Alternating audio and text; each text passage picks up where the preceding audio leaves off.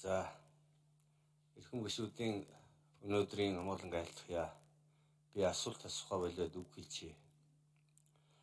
За өнөөдөр Монгол улсын үндсэн хуулинд оруулсан өөрчлөлтийн дагуу Монгол улсын ерөнхий сайдаас засгийн газрынхаа бүтцийг улсын хурлд оруулж танилцуулж байна. Энэ бол ерөнхий сайдын бүрэн эрхийн асуудал.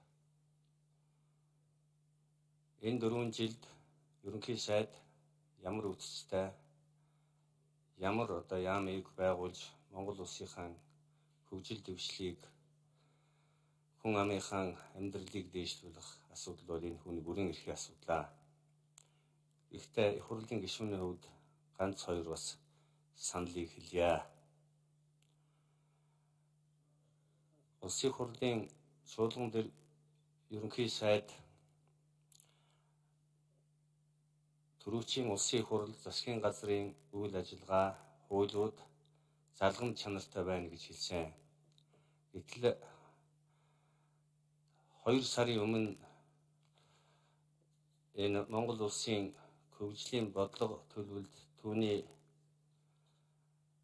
удирдлагын тухай хуулийг Монгол улсын хурл батсан байгаа. Гэтэл одоо 2 сарын дараа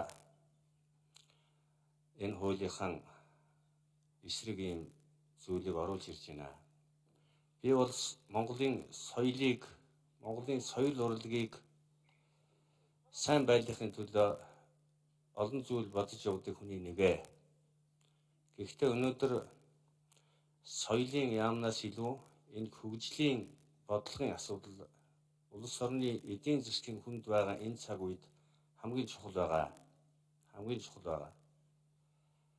Өнөөдөр Монгол улсын ерөнхийлөгчөөс ирүүлсэн энэ саналын тус өгсөн зарим одоо тэр дэдвчтэй холбоотой уул уурах эрчим хүчнийхээ яамыг нэгтгээд үнэхээр л одоо соёлын яамыг Монгол ардын намын мөрийн хөтөлбөрт оруулж батлуулах шаардлагатай байсан бол энэ одоо ерөнхийлөгчийн өгсөн саналын дагуу тэр дэд үсгийнхаа яамыг нэгтгэхэд явж болох хөвлөр байсан байх гэж бодож байна.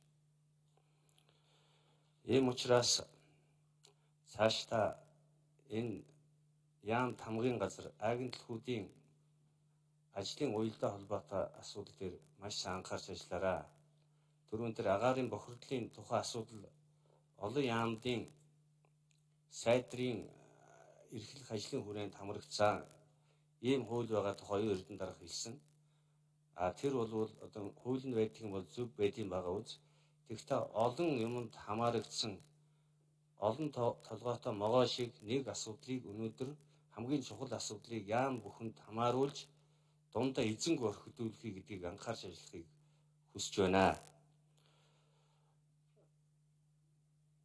Уул уурхай яамны эрхлэх ажлын хүрээнд тэр газрын тосны газар ашигт малтмалын хэрэглэх газар гэж энэ нэг агентлаг байна.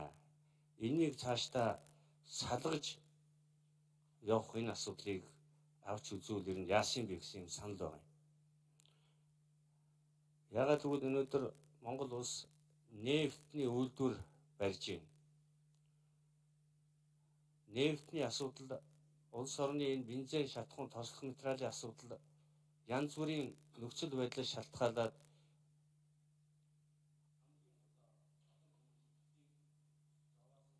За ачаагш үг хэллээ та санал хэлнэ гэсэн учраас. Одоо сайн буянгийн амар